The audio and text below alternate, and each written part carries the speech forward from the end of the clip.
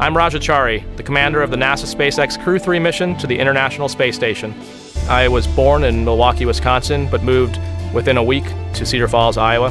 My dad had come to the United States to get his master's degree where he met my mom. He got a job at John Deere, and that's why they moved to Iowa. One of the biggest things I took from my Iowa upbringing is sort of that inherent uh, community strength and the interest people had in, in everyone else succeeding and having a tight knit community. I think I first became interested in flying at a pretty young age. My mom has pictures of me from back as a kindergartner being really interested in spaceflight. Uh, and I think as I got into junior high, the idea of going to the Air Force or flying became very appealing to me as well. And so astronautical engineering was a great way to be involved in the engineering for space. So at the Air Force Academy, there's all kinds of different engineering paths.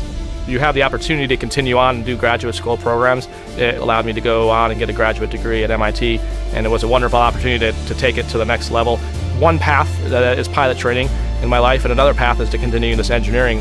I found I really liked engineering a lot more than I thought I would. And then uh, a friend of mine had started talking about test pilot school, in which I realized, like, oh, that's actually a combination of both of these things.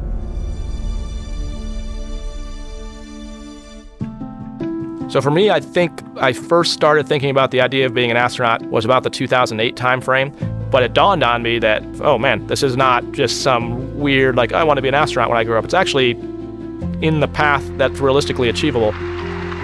So, what do you say? How about I introduce the 2017 astronaut candidates.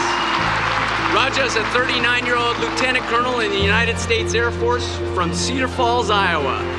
And so that was how I wound up on the path of applying. So on the SpaceX vehicle, my job as a commander is, is a fewfold. I don't need to tell Kayla, Tom, or Matthias how to do their jobs. They already know how to do their jobs. Uh, it's really more a matter for that 1% of the time where something off nominal happen, what is the best split of resources of, you know, what is the best interactions between those players to get the best result. And so managing those different uh, pieces of the puzzle is really, I think, what the crew part of the commander job is. It's really mind-boggling when you think about how much effort it takes to pe put people in space and then to sustain them in space. I think what's cool and why I like NASA is none of those people are doing it for the money.